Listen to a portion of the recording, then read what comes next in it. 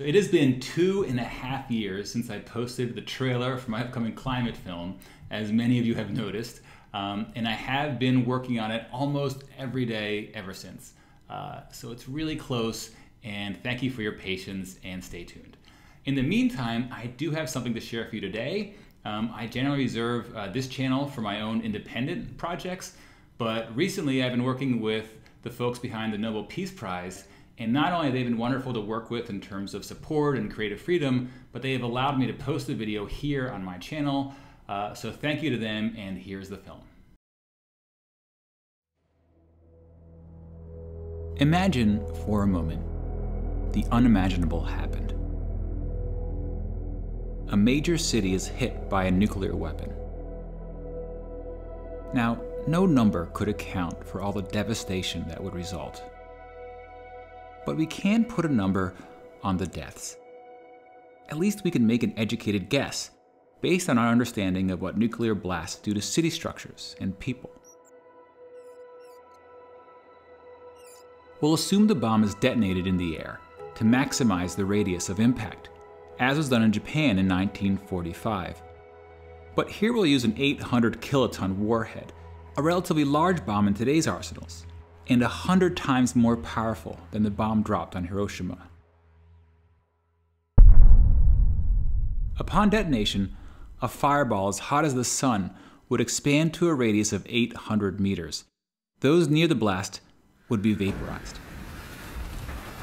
And within a 2 kilometer radius, all buildings would likely be destroyed. And we'll assume that virtually no one survives inside this area which, based on population density, would start the death tally at 120,000 people.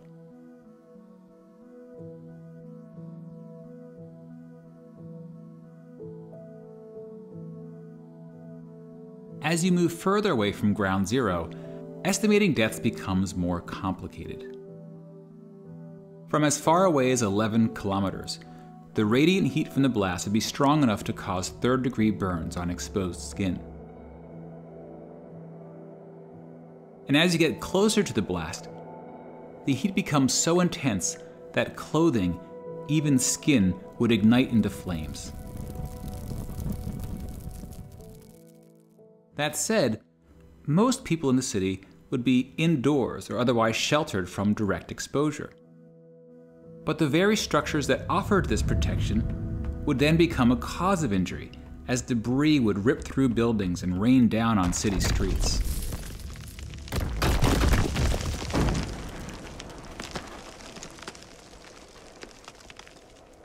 As a rough estimate, we can assume that half the people between 2 and 11 kilometers from the blast are killed from burns, debris, smoke, collapsed buildings, and radiation sickness. Which translates roughly into an additional half million people.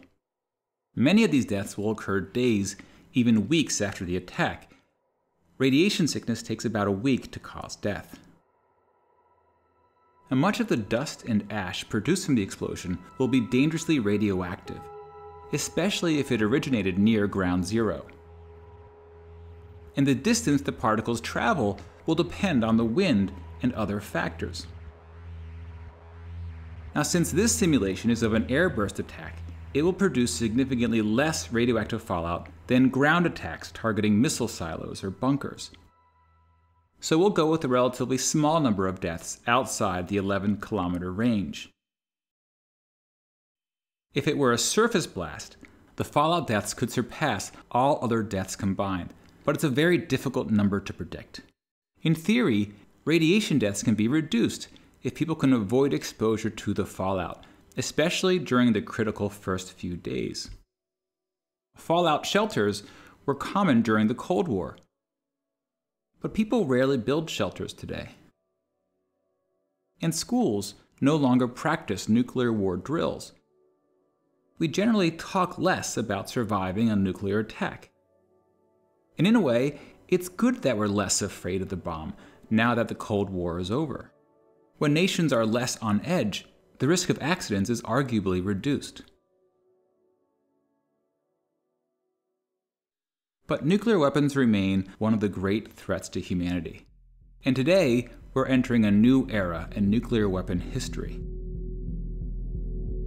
Long standing nuclear arms treaties are being reassessed, and countries, big and small, face the prospect of new arms races. In part because technology is emerging that may give one side a considerable strategic advantage, notably hypersonic weapons.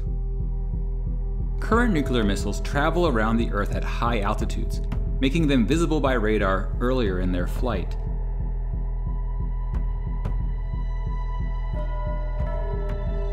Now, some hypersonic vehicles travel close to the Earth, through the atmosphere, at at least five times the speed of sound, giving defending countries far less time to react.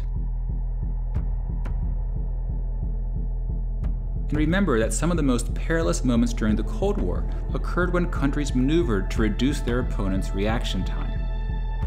And the less time countries have to react, the more likely an accident will occur, or a rash judgment. And then you have smaller nukes that blur the line between conventional and nuclear weapons, providing a more slippery path to nuclear escalation. Now, for ordinary citizens, nuclear weapon policy may seem like a complex, even intimidating topic. But leaders often consider public perceptions when making policy. In many countries, voter opinion is an important factor. Whether you believe nuclear weapons have made the world safer or more dangerous, both sides generally agree that the bomb brings an unparalleled risk, and that there are things we can do to reduce the risk, like minimizing how many countries get the bomb, or scaling back Cold War arsenals, or stabilizing technology races, or pledging to never be the first one to strike. Such ideas have often resulted in signed treaties, some of which have held for decades. Some are at risk of expiring, and some just need a final push to become activated. By being steadfast in these efforts and not walking away from diplomatic achievements, we can continue the work of ensuring that this nightmare simulation never becomes a reality. If you would like to learn about specific policies that could help reduce the risk of nuclear war, you can find links to resources in the video notes.